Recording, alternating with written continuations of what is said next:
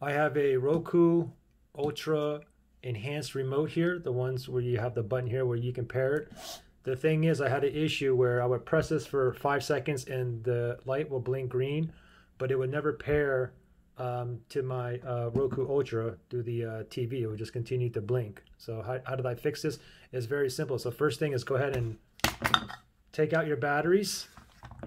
Now, what you want to do with your TV is go ahead and just turn the TV on. If you can't turn it on, you probably have a button somewhere on the back of the TV or underneath it on the side and the left. Turn the TV on, and then once it's on, go ahead and pull the power plug to the TV like this, okay? Wait 30 seconds. After 30 seconds, go ahead and plug it back in. So plug it back in, and then what we want to do is wait until you're at the um, home screen. So wait till it boots up fully.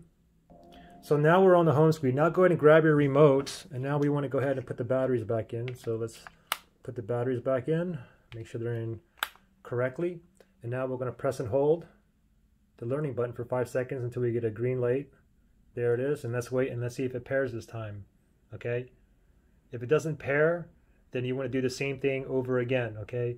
Pull out the batteries, unplug the TV, wait 30 seconds, plug it back in. And then once you're at the home screen, pop the batteries back in and then press and hold um, the pair button until it starts blinking. And then hopefully then uh, it'll pair to your TV. So I'm good to go here. Anyway, I hope that helps you out. Okay, good luck, guys.